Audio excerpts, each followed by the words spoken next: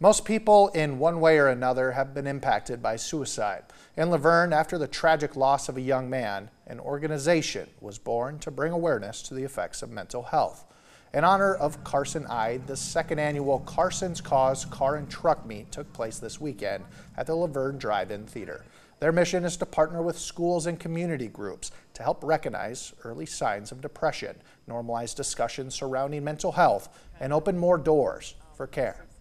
This is this is what he loved, man. Cars, trucks. This is this is it. He he would love to be here right now. That was our There's first still cruise. A row all the way back to the building. Oh my gosh. growing up, uh, I, I, believe that we should be focused a little more on uh, mental health all the way through, uh, starting young, uh, talk about it, open up. A lot of people really, really don't talk, and it they fight their battles themselves, and there's people that care. Somebody loves everybody.